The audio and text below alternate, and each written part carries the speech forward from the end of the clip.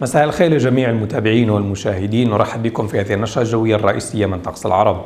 نهار اليوم سيرت أجواء غير مستقرة في العديد من مناطق المملكة في المنطقة الشرقية الشمالية الشرقية حفر الباطن أجزاء من شرق القصيم وأجزاء من منطقة الرياض وأيضا المنطقة الجنوبية الغربية. هذه الأحوال الجوية غير مستقرة هي ناتجة عن وجود كميات من الرطوبة في طبقات الجو العالية مع تواجد لبعض المنخفضات في طبقات الجو العالية في المنطقة الشمالية الشرقية تعمل على نشوء هذه الأحوال الجوية الغير مستقرة. نستعرض الآن وإياكم خرائط أو صور الأحوال الصناعية منطقة خلال ساعة صباح اليوم. كما ذكرنا هناك أحوال جوية غير مستقرة في منطقة حفر الباطن والمنطقة الشرقية. هي ناتجة عن تمركز لمنخفض جوي علوي فوق الأراضي العراقية.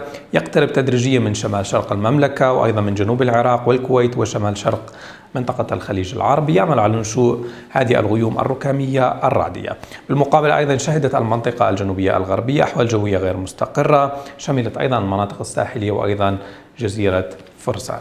فيما كانت الأجواء مستقرة في باقي المناطق وانتشرت كميات من الغيوم العالية في المنطقة الشمالية. عبارة عن غيوم عالية بدون فعالية.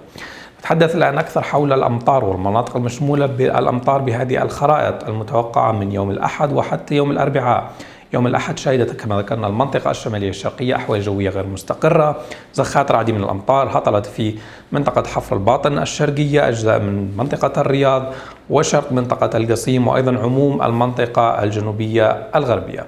تستمر فرصة هطول زخات الأمطار في المنطقة الشمالية الشرقية من المملكة خلال ساعة ليل الأحد على الاثنين وأيضا في المنطقة الجنوبية الغربية. يوم الاثنين بإذن الله خلال ساعات النهار تميل الأجواء للاستقرار أكثر هنا في المنطقة الشرقية لكن تستمر الأحوال الجوية غير المستقرة في المنطقة الجنوبية الغربية فيما يكون الطقس مستقر في باقي المناطق.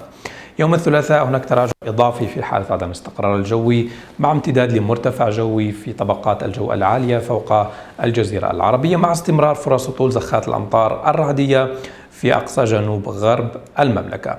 يوم الأربعاء أيضا تشمل الأمطار المنطقة الجنوبية الغربية فيما يكون الطقس مستقر في باقي المناطق لكن حار إلى شديد الحرارة في هذه الأماكن. نذهب الآن للعاصمة الرياض والتوقعات الجوية لفترة السحور حيث تكون الأجواء صافية مع 22 درجة مئوية الملموسة 21 الرطوبة منخفضة والرياح خفيفة وبالتالي السحور في الخارج سيكون ممتاز. التوقعات الجوية للثلاث أيام القادمة في العاصمة الرياض. يوم الاثنين تفرق لبعض الغيوم العالية بدون فعالية 36 إلى 22 درجة مئوية. نفس الأجواء تقريبا يوم الثلاثاء ونفس الحرارات مع ارتفاعها خلال ساعات الليل تسجل 24 درجة مئوية. لكن يوم الأربعاء هناك ارتفاع إضافي على درجات الحرارة لتكون حول 38 مئوية كحرارة العظمى أما الصغرى 24 درجة مئوية. كان هذا كل ما لدينا لحد الآن. شكرا على المتابعة وإلى اللقاء.